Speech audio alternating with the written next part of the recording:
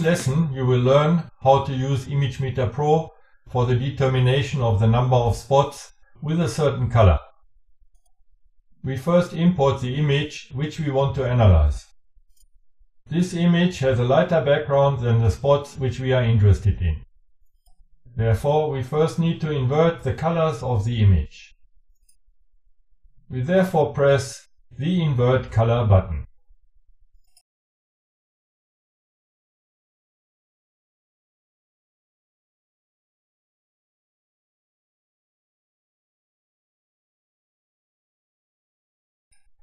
Let's change the line color to green and set the color setting button. We check the check RGB box and then determine the color of a representative spot which we want to analyze. The highest color value is over 200 and the average color including the background is over 180. As you can see the background is not completely black.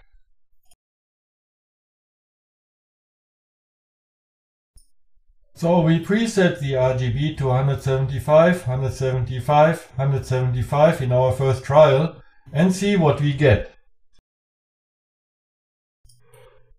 These values are higher than the lowest color values of that spot. Next we check the count spot checkbox and then create a rectangle around the spot trying to get the whole spot area. We then press the Start Spot Count button and the result is shown in the Results section. For the area ratio we get a value of 21.2 and for the RGB value ratio a value of 21.37. This value is higher and it means the spot density is heterogeneous. All positive spots are now green. There are altogether 21 green spots which is close to what we have actually measured.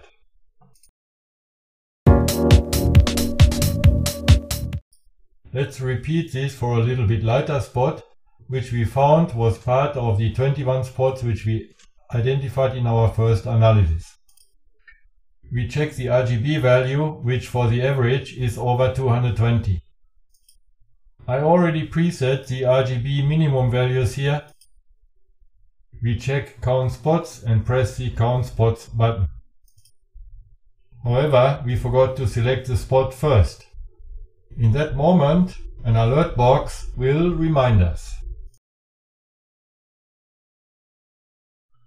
Now we can start counting. Both area and RGB are very close to around 7. When we see which spots fit our criteria, we get a number of 7. It is important to select the same spot for counting, which we also selected for determining the RGB. Now let's see if we can separate the set of darker spots from the lighter spots. We repeat the whole procedure as before, checking and presetting the RGB value. However, we know that the lighter spots have RGB values equal or higher then 220.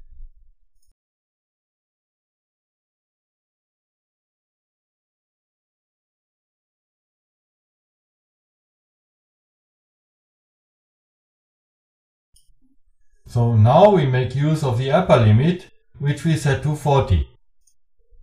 This makes sure that only RGB colors between 170 and 210 R, G and B will be searched.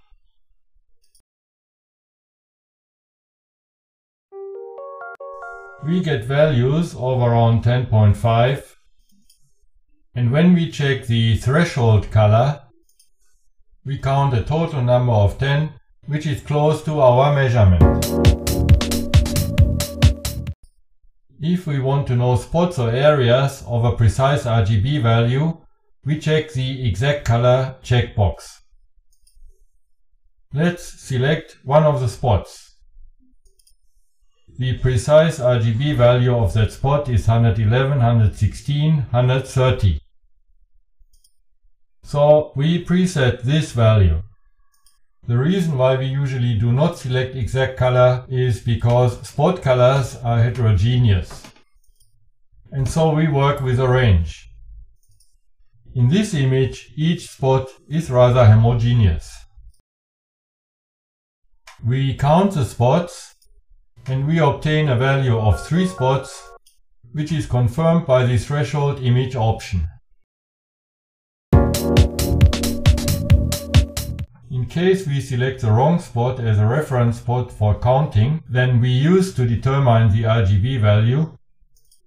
We can see that because the raw and spot values are zero. If now we press the count spots button, we will get an error message.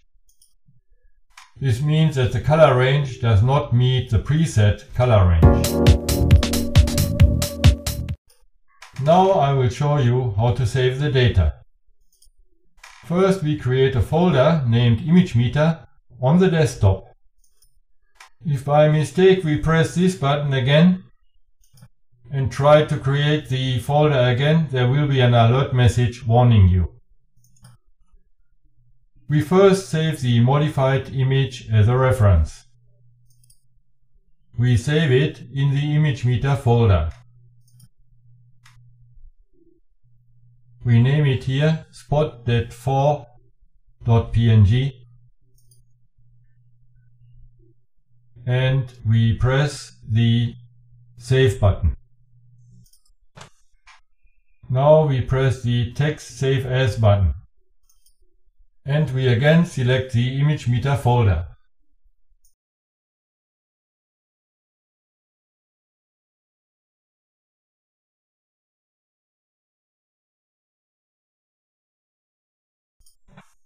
You can see that the data will be saved as a Microsoft Excel file.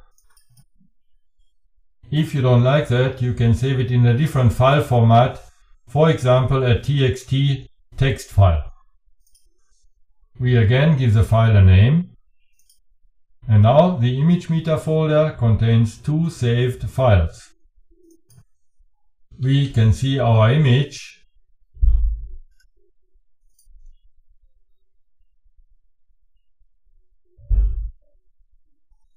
and we can see the text data in Excel.